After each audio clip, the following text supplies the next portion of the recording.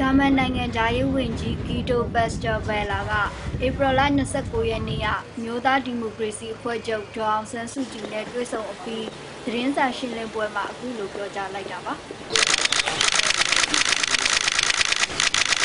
သူကဂျာမနီနိုင်ငံဟာမြန်မာပြည်သူတွေနဲ့အတူရပ်တည်ပြီးအသွင်ကူးပြောင်းရေးကာလမှာဒီမိုကရေစီလွတ်လပ်မှုနဲ့တရားဥပဒေစိုးမိုးရေးတို့အတွက်ပံ့ပိုးကူညီမှုတွေလှုပ်ဆောင်သွားမယ်လို့ဆိုပါတယ်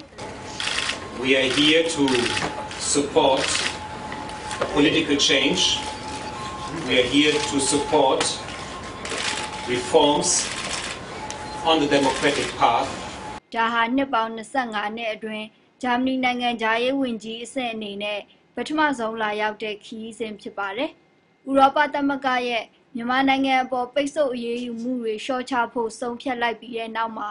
အခုလိုနိုင်ငံတကာကခေါင်းဆောင်တွေမကြာခဏဆိုသလိုရောက်ရှိလာနေရလဲဖြစ်ပါတယ်။ဒီလိုပဲနောက်နောက်မှာဂျာမန်စီးပွားရေးကုမ္ပဏီတွေလာရောက်ယင်းနှိမ့်မြုပ်နှံမှုရှိလာမဲ့အပေါ် I would not say German businesses and German companies. Let's talk about international businesses and international companies.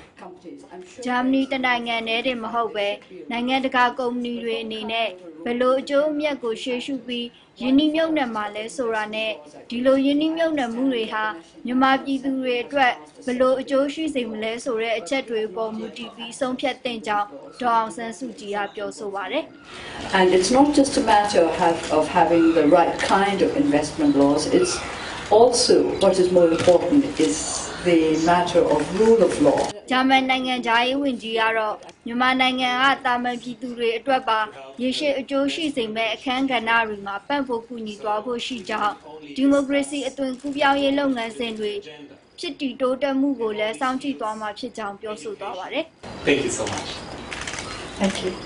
Thank you. ။ ဂျာမန်နိုင်ငံသားရေးဝန်ကြီးဟာသမ္မတဦးသိန်းစိန်နဲ့နေပြည်တော်မှာဧပြီလ30ရက်နေ့ကျရင်တွေ့ဆုံဆွေးနွေးဖို့ရှိနေပါတယ်။ကျွန်မဂျူလစ်ပါ။